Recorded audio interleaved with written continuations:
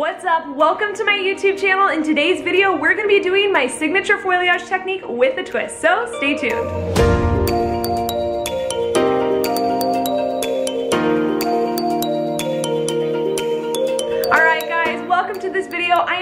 Excited to be sharing with you guys this new twist to my signature foilayage technique. So my model today has about a level 5 hair and she's got some brightness already on her end. So we're going to be refreshing her hair, brightening her up, adding a stronger money piece in the front. And I'm to be sharing with you guys a new secret sauce that I found for my blending agent and it's not lightweight conditioner. So stay tuned to find out exactly what it is. All right, so this is our starting canvas. You guys can see she's got definitely some lightness in there, some good dimension already, but she definitely still has a lot of depth, especially through this back section here. So we're gonna be brightening her up, bringing all of this up. It's been six months since she's gotten her hair color done. So we're gonna be brightening her up, giving her a lot more brightness, um, breaking through kind of this dark hole area and just really giving her some really fun, beautiful color for summer.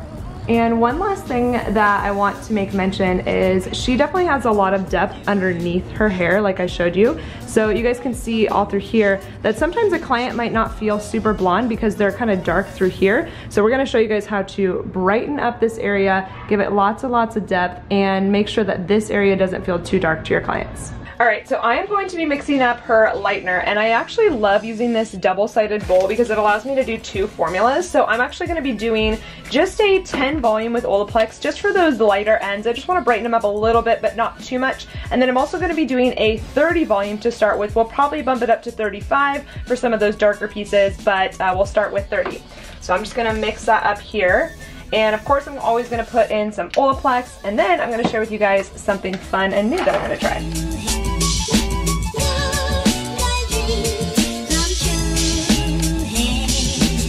All right, so previously in the past, I have used a lightweight conditioner for my blending agent, but we're actually gonna be using the Biolage Raw Color Care Acidic Milk Rinse. And so I'm going to put this into a bowl here, just kind of squirt a decent amount in there. And this is going to be used as my blending agent for our foils. I'm gonna show you guys a really fun technique with using this, but I am really excited to show it to you.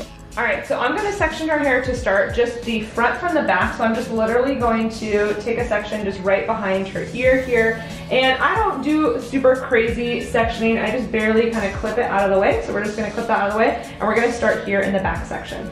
And like I showed you guys, she's got a lot of depth underneath here. So when she wears her hair up, there's so much darkness. And a lot of times clients, when they pull their hair forward, they wanna see this brightness in here. So we definitely are gonna wanna brighten this up. So when she wears her hair back, she gets that nice, beautiful balayage look.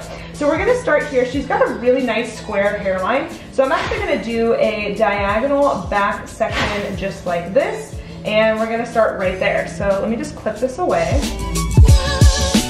All right, so we're gonna take our section right here and I'm going to weave it out. And all I'm gonna do is I'm gonna end up leaving this piece out because I want this to be our natural low light. If I took the entire section and did it, what would happen is she'd have a really blonde chunk right there, so we don't want that. So I'm going to tease this section right here, just ever so slightly. And I like to start my teasing kind of just mid shaft up. And we're gonna do that right there. And then I'm going to take my foil right here and this is where that blending agent comes in. So I'm taking my blending agent just right here and applying it right below where I did my teasing. So you guys can see the teasings there, we got the blending agent. And then I'm gonna go in with my 30 volume because this is the much darker section here. And start just applying it through the length of her hair. Now you wanna make sure that you're really saturating this hair, getting it fully, fully in there. And then I'm just gonna go through and just kind of blend this up into that blending agent that we did. So just kind of slightly feather it up in there. One thing you do wanna make sure of is you're not going all the way up into the teasing area because then that could cause bleed marks. So I'm just kind of going right where that blending agent is. And then all I'm gonna do is I'm going to take another foil, place it right on top, and then that is going to incubate this entire section. Fold this up, and then lock it down into place. Now I'm gonna go to my next section. So you guys can see this was the piece right around her hairline. Now I'm gonna just kind of slightly vary my angle and go a little bit closer towards that bottom corner of the nape of her neck. So we're just gonna take this And I wanna make sure that I'm doing this to get all of that brightness in there. You guys can see how much darkness she has through here. A lot of her lightness was through the top layer of her hair. So we wanna make sure that we're grabbing all of this and definitely getting some brightness in here. All right, so I'm going to, again, do this. And this is a little bit wider of a section, so we will leave just a little bit more out. We don't want, again, have her be an ombre type of look. She does have a lot of brightness already, so we're just kind of enhancing that and bringing it in. So again, we're gonna tease this up and grab our longer foil. Now I love these foils. If you guys have not used these foils yet, they are amazing. They're from Framar, and of course they're my favorite color, the rose gold color. And I absolutely love them because you can tear them to the length that you want them to be. So this is great, especially for clients like her who have this insanely long, thick hair. It's really hard to bunch that up into short foils. So Framar makes them in this nice, beautiful long roll, and then I can just paint however I need to. Now she has a little bit of lightness down here at the end.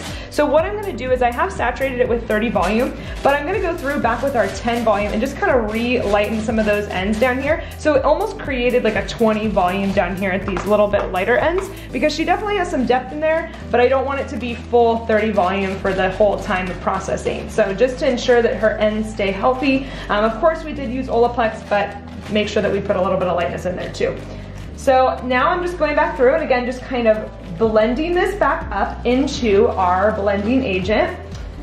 That, that acidic milk rinse is gonna be so, so amazing. And I'll, I'll kind of explain a little bit more as to why I use it as we go through this process. But um, for now, you guys can see I'm just feathering it up in there. And one other thing that I do like to do sometimes is, you can see how maybe this might be a little bit solid. So I'll take a clean dry brush and I'm just gonna drag this down right here and just kind of smooth it out a little bit, kind of blending anything else that could be there. Now she obviously has dark, dark hair, so we wanna make sure that there's a really gradual lightness um, and a really nice variance all the way down. So we'll take this foil, place it right on top, and again, this is also a foil from Framar. These are their pop-up foils, but I love it because it just makes a beautiful rose gold color, and of course your clients are gonna love this versus just silver foils. I just think it's kind of fun. So we're just gonna lock that into place and we're gonna do the exact same thing on the other side of the head.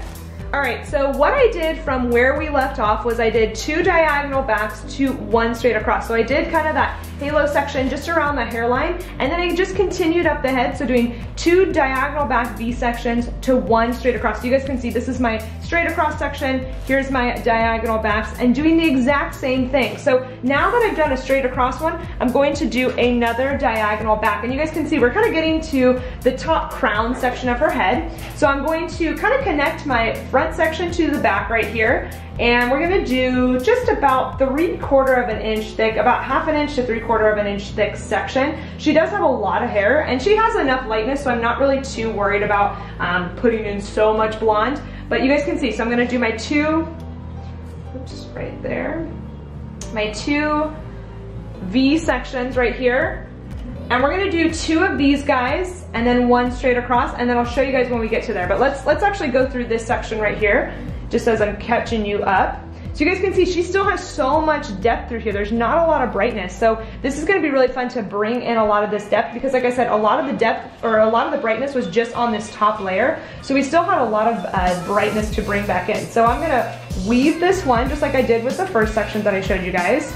That's gonna end up being our low light piece. So we're gonna leave that out and then we're gonna tease it. And I do like to kind of start midway down and kind of tease up here. Now sometimes what'll happen with some clients' hair, their teasing doesn't wanna stay, so it'll start to creep down. So what you can do is you can put a clip in the hair just to kind of keep the section nice and clean and then apply your lightener from here. So we'll grab our piece. Grab our blending agent. And one thing that I do love about the blending agent is I can take my hands away from this foil. It's not gonna slip. So it helps kind of hold, lock that foil into place. And so it keeps it a lot easier for me. It keeps it just so much um, easier as I'm kind of moving around, grabbing my lightener, all of that stuff. So you guys can see she does have a lot of thick, thick hair. So what we wanna make sure that we're doing is really making sure to get that product in there so that there's not any hollow spots on the inside because sometimes what can happen is there will be hollow spots internally. So we wanna make sure that this piece is really fully, fully saturated and I'm using my hand as kind of my backboard and I'm pushing up against that product into my hand. Another thing that you guys will notice as we kind of go up her hair, she has kind of this hair down here where she has some lightness, but then a lot of it is dark. So what I'm gonna do is I'm actually gonna weave some of this out, her darker pieces. So now we've got these light pieces down here. We're gonna let those hang out. And I'm actually gonna pull this guy up and combine it with our 30 volume up in here so that this piece is getting fully lightened all the way through and then we'll go through and tackle the ends separately with our 10 volume. This is like weaving out her old lowlights. You guys can see, getting it really, really in there, making sure to fully, fully saturate it. We'll take our 10 volume, just kind of touch these little ends down here. Nothing crazy back here with our 30 volume. And now that I've fully saturated the rest of the piece, I'm gonna go up and do my feathering technique up into it. So I always like to do this last because I feel like this is the part that takes like the most um, finesse. And so I wouldn't want to go through, do it first, and then have it move or something while I'm doing the rest of the hair. So I always like to do this little part last. So one thing that I do wanna make note of is during this part down here in the mid lengths and to the ends, I am pushing the product in. I'm definitely adding more force. But then when we get up to this piece up here, I'm doing a much softer, lighter touch when it comes to the feathering. I'm not pushing the product in. It's definitely more of a feathering kind of technique. So I am making sure to get it saturated, but I am doing more like surface painting through there. So just something I wanted to make note of. And then I will take my clean brush and just kind of smooth this out here. You guys can see having this clip up here really keeps it so that that teasing area isn't, um, you know, creeping down in there.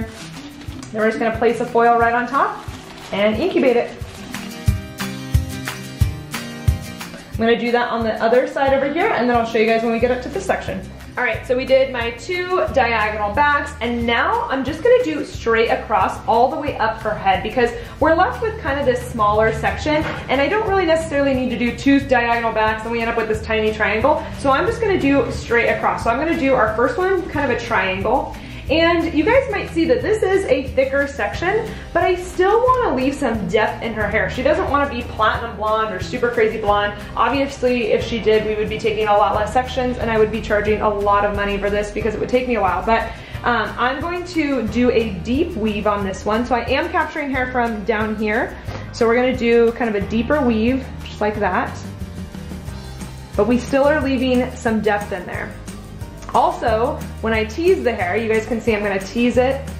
This will also help us keep some depth in there because we're not going super crazy. You know, we are gonna eliminate some of that hair. So um, it does help a lot and it definitely helps diffuse the lightener as well. So now we're just gonna place our foil after our blending agent.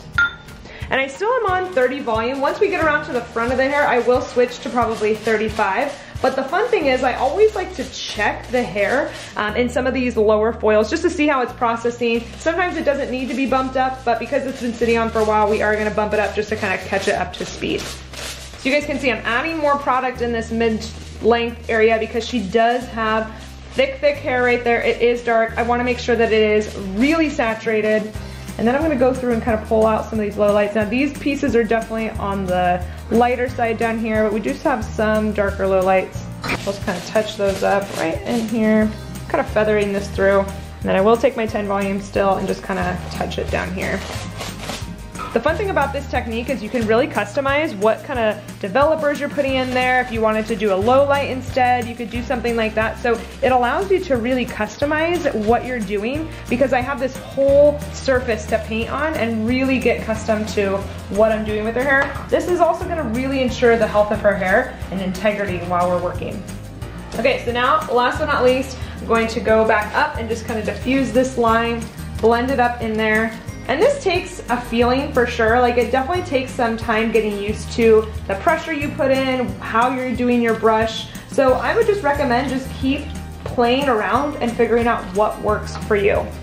So now you guys can see that's pretty uh, solid right there. So I am just gonna take my little brush and just kind of blend this down through. Making sure to wipe it off real good in between. And then place my foil on top and let it incubate. So we're gonna continue up on this little section right here and I'll show you guys the very last foil we do right here on the top of the head. All right, so we are gonna do this last section here on the top. She definitely has a lot of lightness in here already, so I'm not too concerned about this one. I am just gonna bring it up a little bit. So I'm really just gonna kind of do kind of the top layer here. I'm not really too worried about it because I don't wanna make her super, super blonde. I'm just gonna pull even a little bit more of this out. So all I'm gonna do is I'm gonna do the same thing like I did before, but I'm gonna make sure to really diffuse that teasing right there. So we did a lot of teasing and again, I'm gonna clip that out of the way. It definitely helps, especially on sections where it can, can bunch up really bad. So grab the foil, and this is the section that you really wanna pay attention to because here's the thing, this is gonna be the piece that lays over. And so if it's all chunky or there's lines in the hair, your client's gonna notice it. It's gonna show up in your Instagram photo. You definitely don't want this. So this is a really, really important piece. You wanna make sure that it's super, super blended and really diffused nicely.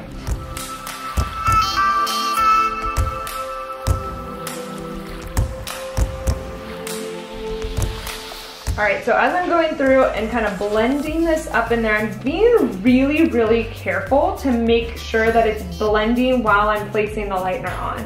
I think sometimes when we have clients that have really thick hair, we just slap the lightener on there hoping that it blends out and we get lazy. And so you definitely don't wanna do this, especially with somebody with thicker hair because it is going to show up and you will have problems. So even though you're teasing the hair, that's gonna help diffuse it, even though you're using the blending agent, you still wanna make sure that it's as blended as possible. I'm gonna go through, saturate our ends a little bit down here. Make sure everything is really saturated in there. Revolutionary France listened to men like Turgot. I'm actually not even gonna lock the corners on this one because I don't want it to squish in there, so all right, so now we finished our final back section. I'm gonna check some of these just to see how we're lightening. I'm gonna go remix some lightener and then we're gonna get to the front. All right, so I'm gonna go in and add her money piece. Now, one thing that I did notice was she parts her hair kind of off to the side and her money piece on this side is a little bit higher than it is on this side. And this is actually really common when people divide the balayage or foilayage doing side by side, but there's a reason why I like to do these pieces combined so that we don't have that issue. So what I'm gonna do is I'm going to just kind of figure out, ask her where she parts her hair. She said she kind of parts it right there. And then I'm just gonna kind of take my section just about three quarters of an inch wide. And the cool thing is with this technique is you're customizing it to your client and what their hairline looks like because every client's got a little bit different of a hairline. You guys can see she's actually a little bit thinner on this side, which is no problem, but this allows me to customize it. So I actually want this to be just a little bit thinner on this side, so I'm just gonna take this, put this back away, and what I'm gonna do is I'm going to take my section, almost like I would a highlight. So I'm gonna take this guy and you guys can see there's lots of depth in here. And so I'm just gonna kind of weave it out. I'm gonna weave out some of those lighter pieces she does have. And we're not gonna actually tease this section. Um, because it's such a fine piece, you don't really need to tease it, and especially because we use our lightening agent, or blending agent. So I'm just going to use my blending agent right here. And again, I can take my hands away from this foil. It's not gonna slip or anything. So another great reason of why to use that blending agent. Then I'm just gonna paint my lightener in right here, trying to avoid the pieces that are already light. I'll actually just pull this guy out. Um, this is actually a Framar brush too. I love this brush because it has that tail comb so I can kind of be really precision with it or really precise with it. I'm just gonna get up in here. And then I'm gonna go back in and I barely have any lightener on this brush at all and just kind of feather this up into this section, into our blending agent. And then I'm just gonna literally fold this into thirds and lock it into place. I'm gonna do two more of these pieces and I'm gonna show you guys the front.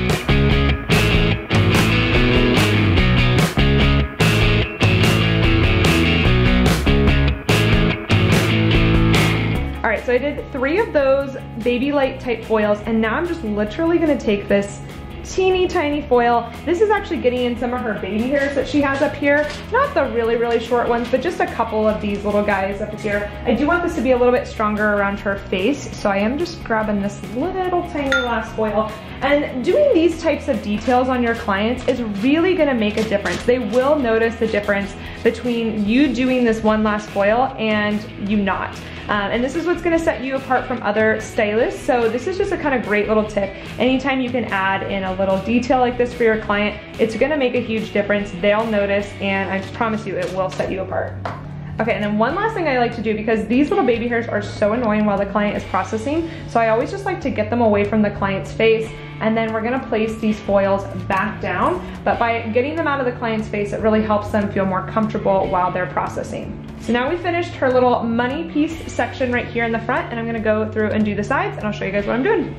All right, so now we're gonna do the pieces on the side and you guys can see she's actually got quite a bit of baby hairs in here, but we pulled these baby hairs kind of, we incorporated them into our money piece, so I'm not too worried about this little section, but we are gonna wanna tackle this section right here around the hairline. So I'm gonna just pull this piece down, and this is gonna be our first almost baby light highlight piece. It's gonna mimic what we did in these foils. We're probably gonna do two of these ones just to make sure that it is really good. And you guys can see it's thinner here, but that she's also got this thickness here. So we do wanna make sure that we're blending it in so that she doesn't have this like blonde chunk running back behind her hair, but also still having enough lightness around her face. So this is again, just going in and customizing it for your client and their hairline. So we'll do our little bit of blending agent. So you guys can see I'm just kind of blending it up into our blending agent. Saying that word a lot in this video, I apologize. and then I'm just gonna fold this foil into thirds like I would just a regular highlight. And with this next piece, I am gonna capture a little bit more kind of up in here now the key with these pieces is you do wanna keep them closer to baby lights versus thicker highlights um, because the thinner it is, the better it's gonna blend. So you guys can see I'm actually grabbing some of those baby hairs in here. Now if her baby hairs were a little bit shorter, I wouldn't even bother them because we wouldn't wanna have like her fluffy baby hairs being lightened, but these ones are a little bit longer, so we are gonna lighten them. Now I know sometimes this section can be a little bit tricky or sometimes feel awkward. So even if it feels a little awkward, just know that it feels awkward to me too. It does take a little bit of getting used to getting your hand placement down, how to hold the foil and stuff. So just keep practicing, it will get better, but it sometimes does just feel awkward in these positions. That's totally normal. And lock it into place. And now, for the rest of her hair, I'm actually going to do diagonal back sections till we reach this top corner here. And we're gonna do them just the same way. Now this piece was a piece that we pulled up in our hairline, so we're gonna let that hang out down here. These are gonna be our foilayage pieces. So these pieces, because they are a little bit thicker, we are gonna make sure to tease them. And sometimes hair can clump up like that, so I do wanna make sure that it is gonna be a nice surface for me to paint on. So if it is all clumped up, go ahead and just rearrange it before you grab your lightener and try to move it around with your lightener in there. It'll be a lot easier on you. So I'm gonna continue up the head, just doing diagonal backs till we reach that top little corner piece and finish up this section.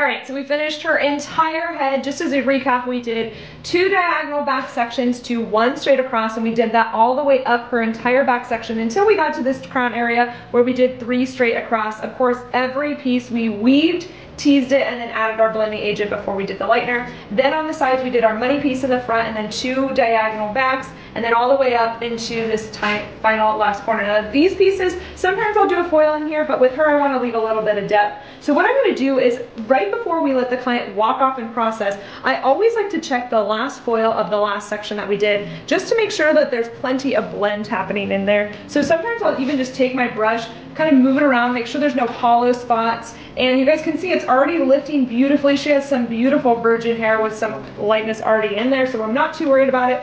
But if you ever see any kind of spottiness or something already happening here, you're gonna wanna go back and check your foils because if this foil is spotty and has issues, chances are you might have other foils that are spotty as well. So um, you shouldn't if you do the technique correctly, but you just wanna go back and check. So this is looking really beautifully. We're gonna go let her process for a little bit. I'm not gonna put her under heat because it's already looking good unless we need to just kind of warm it up for a little bit, but we'll let her process.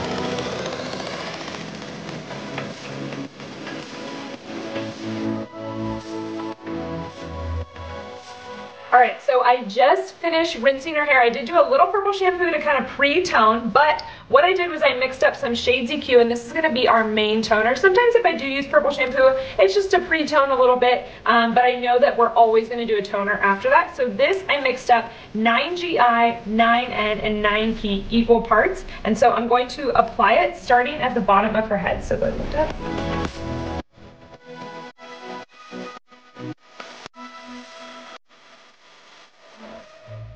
Okay, so I'm gonna start applying it kind of at the area where it is the most warm. You guys can see that she's definitely got some warmth in here. Um, she was pretty dark to begin with, so I'm happy with how she lightened. But we're gonna start kind of in there. And then I'm just gonna keep kind of working on my way down. I am gonna leave her ends out just a little bit till I get towards the end of her processing because I don't want them to get too muddy. So I'm just gonna start applying kind of down here and then we will work our way all the way up through the entire head and probably let this process from anywhere from about 5 to 10 minutes.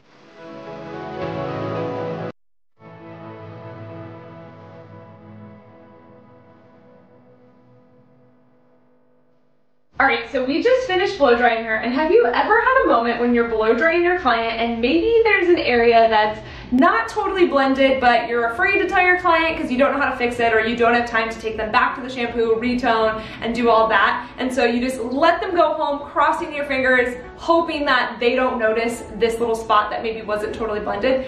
It happens to all of us, especially on clients that have darker hair. There's a spot in her hair that I noticed when I was blow drying that wasn't quite the way that I wanted it to be. So I'm gonna share with you guys a quick little trick that you can do that takes maybe five to 10 minutes. And if you address it with your clients, you are still in control. The second that they say, hey, there's like something funky right here, or they have to come back, that takes you out of the driver's seat. And so it's actually really important to make sure that you're addressing things like this while they're in the chair, fixing it right then and there, and keeping it really simple. So all I'm gonna do is there's a little spot kind of right here to me. This is kind of me being OCD. It's sometimes hard to see in the light. It's a little bit spotty, so I'm just literally going to pick up kind of the area where I see it a little tiny bit spotty. Honestly, not even that bad, but I'm going to take a foil and I mixed up Shades EQ 5N in my little uh, mixing bowl. And so I'm just literally gonna blur it just right down like that. Just barely over that little spot that I feel like is a little spotty and fold it up. And then there was one other spot in this section as we parted her hair kind of more towards the middle that bothered me. So I'm just gonna do the exact same thing, put it in these two little foils, rinse it out in a towel, and then we should be good to go. All right, so now it's processed for just a few minutes. So all I'm gonna do is I'm gonna pull this foil out and I'm just gonna use a spray bottle. And the reason why I like using Shades EQ is because you don't have to necessarily shampoo it out afterwards. So I'm just gonna make sure that I rinse it really good with a spray bottle um, and just kind of pull it through with this towel and then we'll just dry this little section that we just put it in.